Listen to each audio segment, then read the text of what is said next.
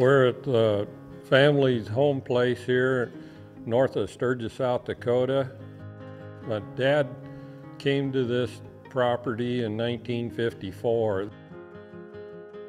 The, the ranch has basically always been centered around cattle and, and dad did um, some wheat farming and some of that, but probably when Ed and I came in as partners in the ranch in the 70s, we really kind of focused more on the cattle because that's really where our passion was. Our passion wasn't in the farming.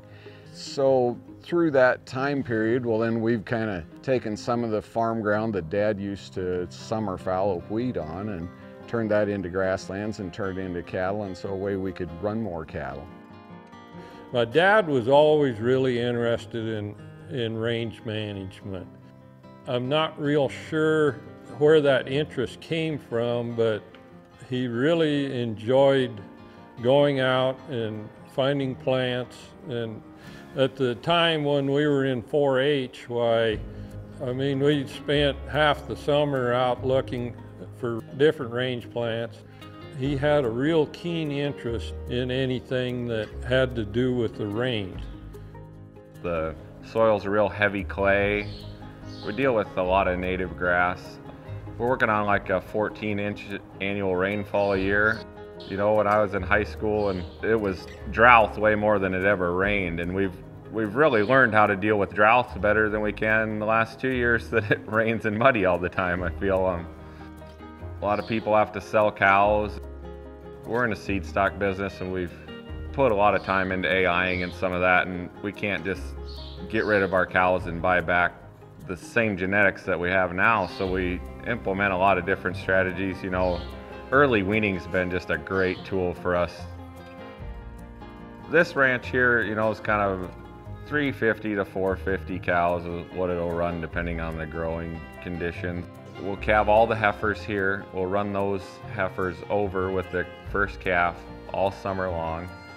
And we'll also have some three and four year olds. So we'll AI, and as they're uh, cycle back, we'll ship those up to Chad's house. So he gets most of the older cows, and we'll keep the younger cows here. So we'll we'll calve the first calf heifers and most of the three-year-olds on this ranch. When they ship to Chad's, they'll stay there basically as long as they're still on the operation.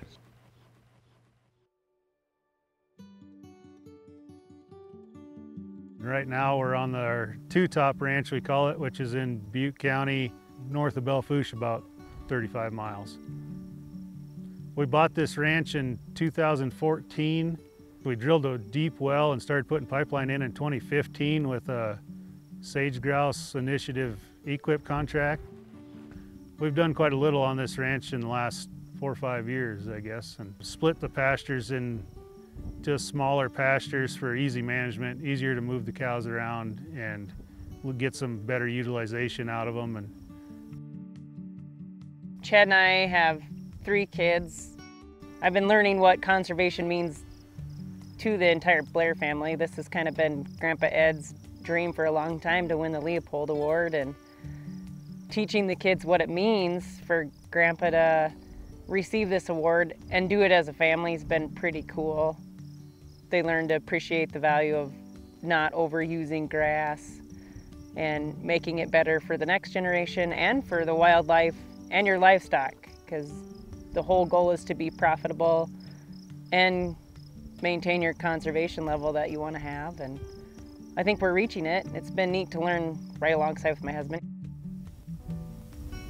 Our ranch is really special and you can't just leave the cows in one pasture forever. You have to move them around. We move the cows because it's good to keep the grass not undergrazed or overgrazed because if grass is overgrazed, it's going to have a hard time getting to grow back up. And if you undergraze it, there's going to be too much grass. The Blair ranches, both Two Top in Butte County and, and here on the home ranch in Meade County, grass is abundant and it's not just because we had some adequate rainfall throughout this growing season. It's that way every year. Uh, you'll always notice that they seem to have more grass than, than the conventionally managed or the season-long grazed pastures that are just across the fence or just down the road. That's not by accident. They have a lot of ideas and they're willing to listen to any alternatives and they come up with many of their own alternatives and ideas. But really the coolest thing to see is that they're very goal driven. They have their goals and objectives and they know how to see them through. The Blairs are just uh, really good to work with because they have that experience that can only come with a multi-generational type of ranch. They're stewards of the land. They they can see things are going in a direction that might not be good, and that's when they're coming to talk to us before there's even a problem.